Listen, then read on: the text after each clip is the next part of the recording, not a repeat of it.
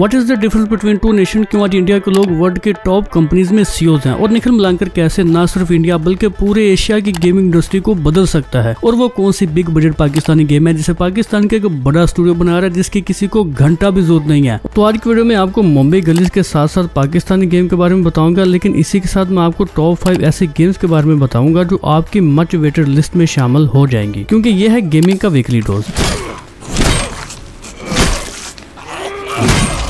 जैसे zombie games with apocalyptic environment की बात आती है तो हमें Days Gone back for blood या फिर लास्ट ऑफ़ जैसे गेम्स याद आ जाती हैं जो कि मॉडर्न वर्ल्ड पर बेस्ड है। लेकिन ब्लड सर्वाइवल एक ऐसी हॉरर जुम्बी गेम है जो कि फोर्टीन सेंचुरी के एनवायरनमेंट में सेट है और यही बात इस गेम को बेस्ट बनाती है। ये game third person and single player के साथ साथ कॉप मोड पर बेस्ड है, जो कि हार्डली मेली फोकस्ड गेम है और कोई इंसेन किस्म की बॉडी डिस्ट्रिक्टेबल डिटेल है। वैसे आपकी नज़र में अब तक की कौन सी बेस्ट जुम्बी गेम है, जरा कमेंट करके ज़रूर बताना।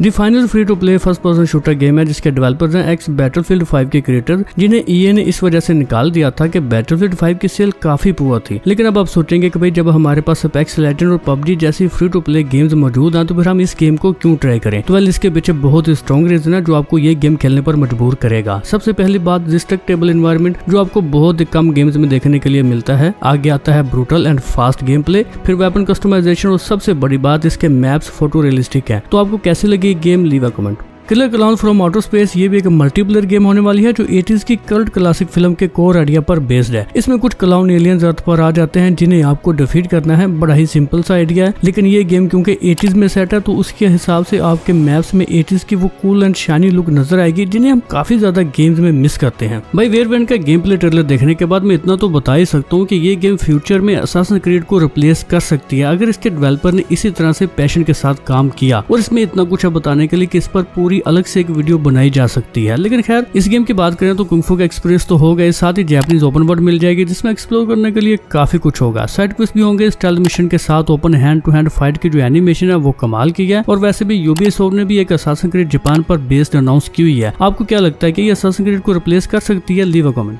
और अब हम बात करेंगे मुंबई गलीज के बारे में और फिर लास्ट में बात करेंगे पाकिस्तानी गेम के बारे में। तो मुंबई गलीज को आई जी 2022 में शोकेस किया गया था और इसमें हमें इसकी लोडिंग स्क्रीन के अलावा थोड़ा गेम प्ले देखने को मिला जो कि प्रॉमिसिंग लगा। गेम प्ले में हमें करेक्टर दिखाया गया है, लेकिन ये करेक्टर एक रैंडम करेक्टर और स्टोरी से रिलेटेड कोई भी करेक्टर फ़िलहाल रिवील नहीं किया गया। इसके अलावा रोड पर हमें कुछ नाइन्टीज की फ़ेमस कार देखने को मिली और ये काफ़ी अच्छा लग रहा था। हाँ एक चीज़ जो मुझे थोड़ी डाउटफुल लगी वो ये थे की जब जीप टकराती है तो जीप पर किसी भी तरह का डैमेज नहीं होता, लेकिन क्योंकि अभी तक ये डेवलपमेंट में है तो ज़ाहिर सी बात है कि इस पर ज़रूर काम किया जाएगा। तो देखिए मैंने शुरू में एक बात की थी कि क्यों आज इंडिया के लोग वर्ल्ड के टॉप कंपनीज़ में सीओज हैं। उम्मीद है कि आपको ये चीज़ समझ आ गई होगी, उसके पीछे रीजन है विजन का। निखिल मलानकर का विजन अच्छा है और वो चाहता है कि इंडिया से एक ट्रिपल ए टाइटल टाइप की गेम निकल कर जाए, ताकि दुनिया को पता चले कि हम लोगों में कितना पोटेंशियल है। और आप लोग याद रखना कि एक टाइम ऐसा आएगा जब मुंबई गलीस के बारे में इंडिया या पाकिस्तान में नहीं, बल्कि पूरी दुनिया के यूट्यूबर और लाइव स्ट्रीमर इस पर बात कर रहे होंगे वैसे आप लोगों को इस बारे में क्या लगता है, आप कमेंट करके मुझे ज़रूर बताना।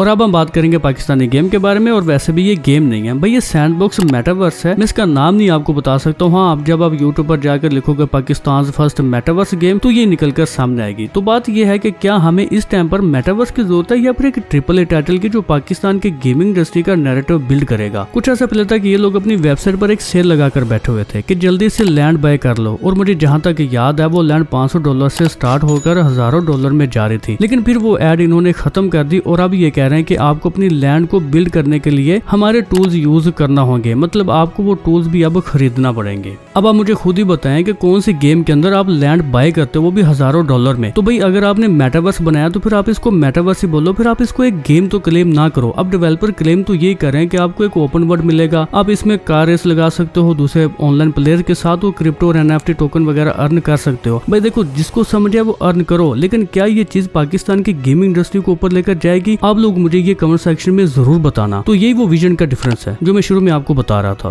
अगर आप लोग यहाँ तक पहुँच चुके हैं तो प्लीज़ चैनल को सब्सक्राइब करके वीडियो को लाइक भी लाजमी कर दें, ऐसे गेमिंग से रिलेटेड वीडियोस देखने के लिए।